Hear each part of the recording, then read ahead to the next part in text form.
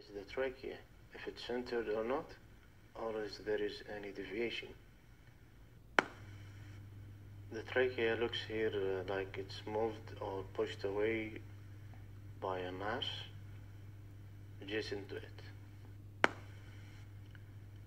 So the trachea is shifted, there's no rotation, and there is soft tissue mass near to it. The next step is to do a CT scan of the chest to know the characteristic appearance of the uh, mass. Soft tissue mass on the right of the trachea. This is a mediastinal thyroid enlargement causing tracheal diffusion. So the mass could be from the neck extending down to the superior mediastinum, like in this case a thyroid enlargement. When you first see this X-ray, you will notice that the hilea are enlarged. There is bilateral hilar enlargement. Sarcoid disease is symmetrical enlargement of the hilea, and other differential includes um, lymphoma metastasis. So we can see that the hilea are enlarged. There is loss of the hilar point. In this case, there is asymmetrical hilar enlargement. This one case of breast cancer with metastasis to the lung. Sometimes there is a normal hilar position, in this case because of radiation fibrosis. Sometimes if there is lung collapse. Here the left hilum is uh, elevated due to fibrosis, pulling up the left hilum. In cases of chest infection, there is consolidation with air bronchogram seen on the left side. The definition of consolidation is alveoli and small airways filled with dense material like pus. And the air bronchogram is when consolidation or fluids are surrounding major airways. So the airway will be filled with air and surrounded by consolidation, which looks bright.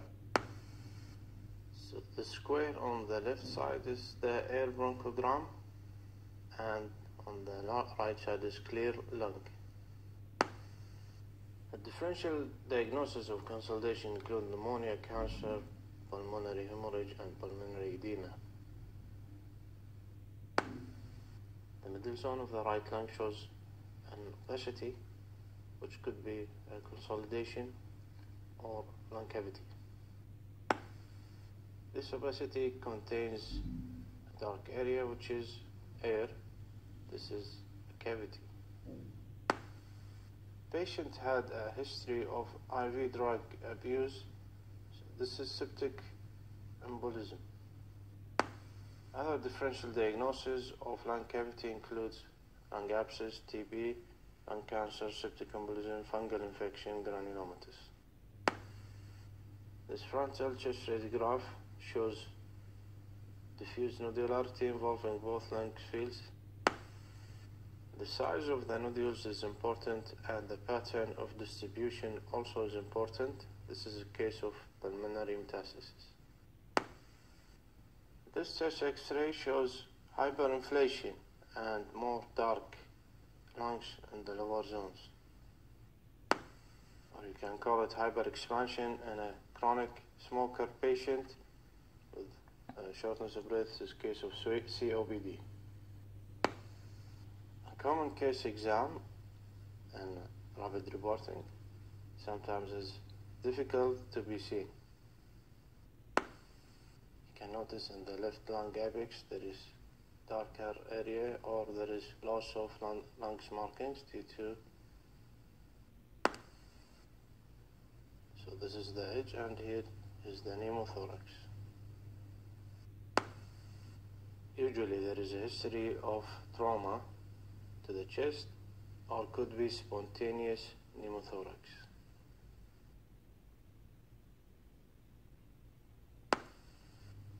Patient comes with shortness of breath and has right-sided chest pain with a chronic exposure to asbestos, case of asbestosis.